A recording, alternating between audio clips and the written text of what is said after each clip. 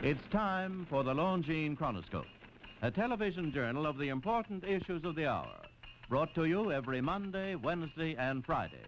A presentation of the Longines Wittnauer Watch Company, maker of Longines, the world's most honored watch, and Wittnauer, distinguished companion to the world-honored Longines. Good evening, this is Frank Knight. May I introduce our co-editors for this edition of the Longines Chronoscope? From the CBS television news staff, Larry Lasser and Ned Calmer. Our distinguished guest for this evening is the Honorable Karl Gruber, Austrian ambassador to the United States. Dr. Gruber, you were a member of the Austrian resistance movement during the war, and you've been involved in its foreign policy ever since.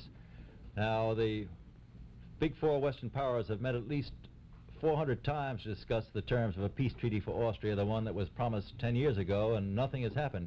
Do you feel discouraged about it? Well, my answer to that is no, I do not feel discouraged. I do not see an immediate prospect of a treaty, but you see, we have a history of almost a thousand years, and I think we can survive a few radical doctrines which are bound to come, perhaps. Well, when we accepted the uh, terms for the an Austrian peace treaty, I think that was 1943, uh, Mr. Molotov refused uh, at that time to uh, do any more about it. Then at Berlin, we accepted the terms, the Russian terms for an Austrian peace treaty, and Mr. Molotov refused to go along with that. Now, do you feel that uh, this means the end of the whole thing? Well, first I want to say this was a very good diplomatic move from your side because uh, they had to show their hands now and declared quite openly that even if you sign the proposed treaty, which they proposed, I want to say, they would not be ready to go. So this ends one phase of the treaty making, but there are more to come. And I think we have not to drop hope for the next future. What do you mean, in other words, that these uh, 375 or 380 meetings meant actually nothing because we accepted all the Russian terms and they showed their actual hand that they must keep troops in Austria. Does that mean that an Austrian peace treaty is dependent upon a settlement with Germany, do you suppose? Well, perhaps not exactly on Germany, but apparently they want to use Austria as a pawn in their overall game. Mm -hmm. And as long as we have not uh, much more development between East and West, I think uh, we cannot expect any sudden development. But I'm quite hopeful that the time will come where they will think again about their policy, and then I think we will get our treaty. Well, Dr. Gruber, the uh, Soviet policy now seems to be the scrapping of the European defense plan, which would include Germany and its army. Do you feel if they succeeded in scrapping that EDC, as we call it, they would then sign an Austrian peace treaty? Well, you never know. You, you say they said very often, if you fulfill this condition, then we will sign the treaty. And then we did this, and then they came with something new.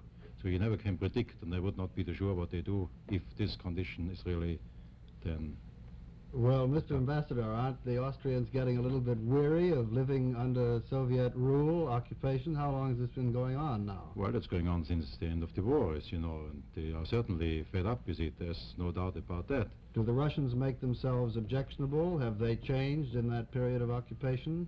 Well, they changed a little bit. They did at least a better dressing of their window, but they still run 300 factories by their Russian management, and they exploit the oil. So there's quite a great drain on our economy. Well, has that changed the traditional gay life of Vienna at all? Do not too much. Not too Vienna? much.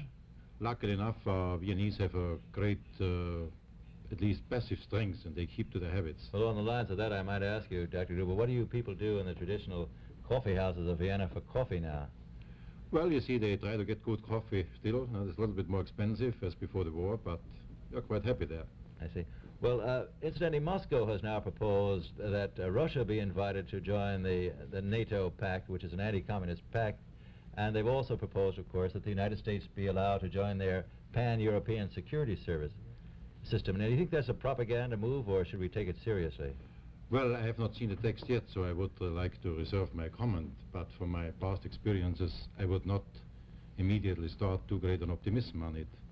But you don't think that that uh, proposal would have any uh, reaction on the future of Austria? Well, I don't see any immediate result of it. I think we have to wait what further they might do and what proof they want Mr. to give. Mr. Ambassador, uh, about the about the future of Austria, it seems to me that the Trieste problem, over which Italy and Yugoslavia are embroiled, also affects Austria, does it not? Well, we have certainly a very strong economic interest there because this is the port where we really export most of our trade. And for this reason, we are interested that first there's good order and not any uh, major trouble between Italy and Yugoslavia, and that our economic interests there are protected.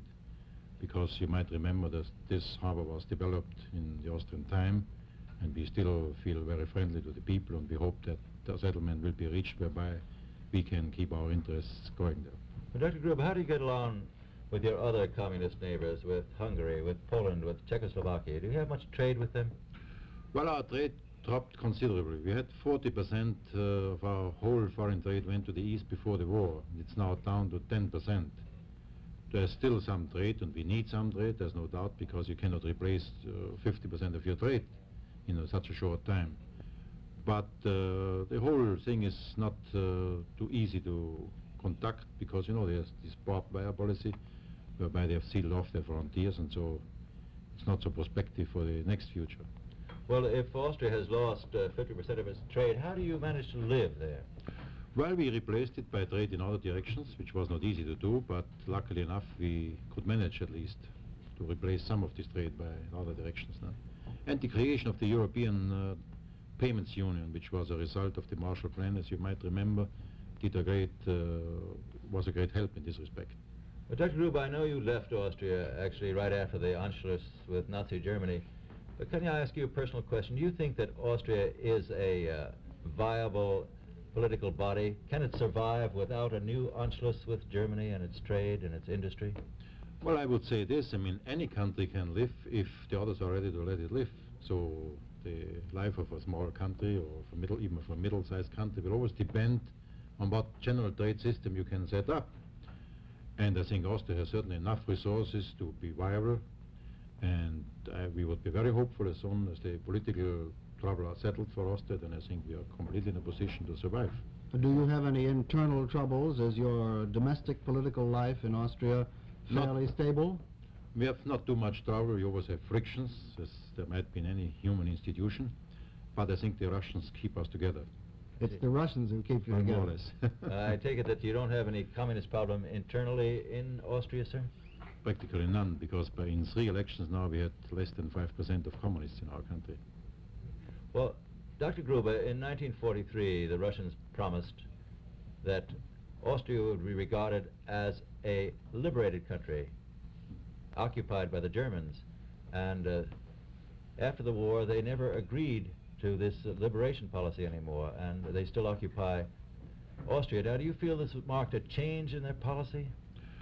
Well, I can't see a great change. They have had always led the policy in Austria of the status quo. That means uh, they are not too unpleasant on the whole, but they want to keep their troops there and keep the military position. And they are not likely to change this policy if there are no major considerations in other fields, no? which you can easily see as a result of the Berlin Conference. No? How are they getting along on the famous international patrol in Vienna? The four men in a jeep. Well, it's still running well? around, still around, running around, and I think they least keep a fair amount of understanding between them. But Dr. Gruber, uh, why do you suppose that the Russians have acted more differently in Austria than they have in Germany? We haven't the, trouble, there aren't the clashes between East and West Germany that they're that they, they haven't got those clashes in Austria now. Why do you suppose that has happened? This whole climate seems to be quite different there.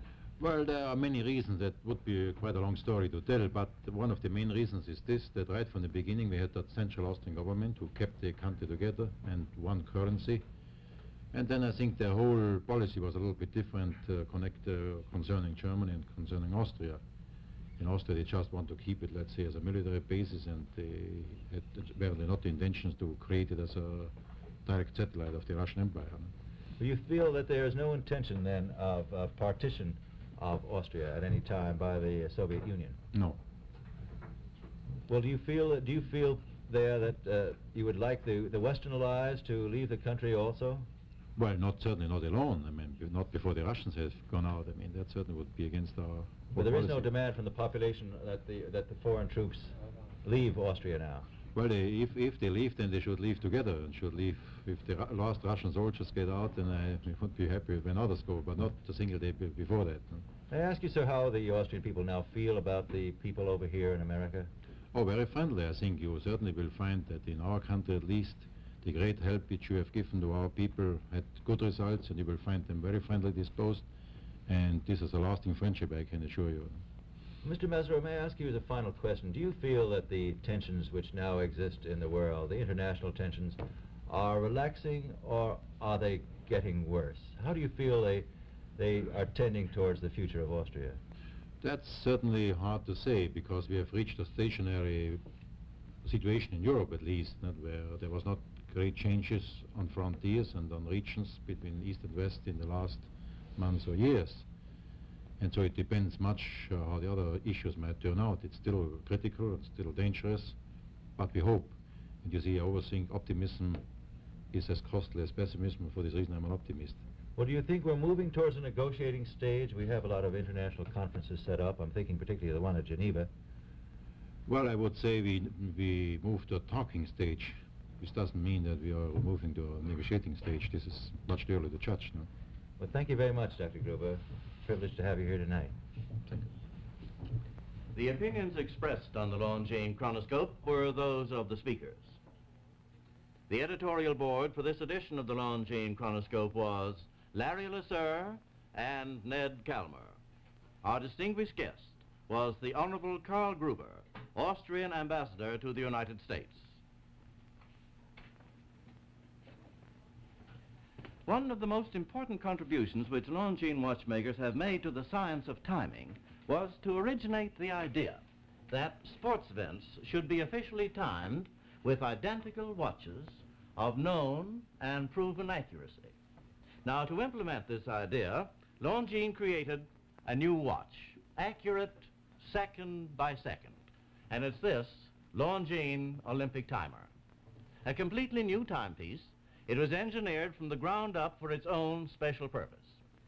The accuracy of each individual Longines Olympic timer is evidenced by its own bulletin from Neuchâtel Government Observatory. And I might observe that as the Longines Olympic timer is engineered to its special purpose, so is every other Longines watch. But beyond engineering, Longines watches are superlatively manufactured. And this superlative quality of manufacture pays off for you in better timekeeping, better reliability, and long life. Ten World's Fair grand prizes, 28 gold medals, and highest honors for accuracy in fields of precise timing are proof that Longines watches are among the finest in all the world. So when next you buy a watch, either for yourself or as an important gift, remember these facts. And remember this, too, that you may buy and own or proudly give a Longines watch for as little as 7150. Longines, the world's most honored watch, the world's most honored gift, premier product of the Longines Wittnauer Watch Company, since 1866, maker of watches of the highest character.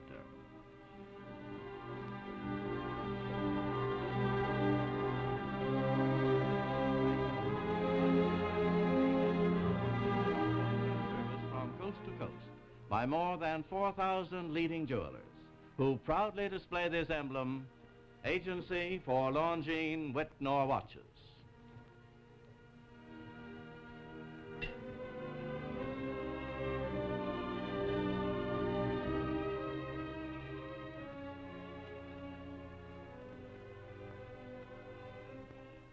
There is only one Atmos, the perpetual motion clock created by LeCoultre. Atmos runs without winding, without electricity, powered only by unfailing daily variations in the temperature of the air. Atmos, product of LeCoultre, division of Longines Wittnauer.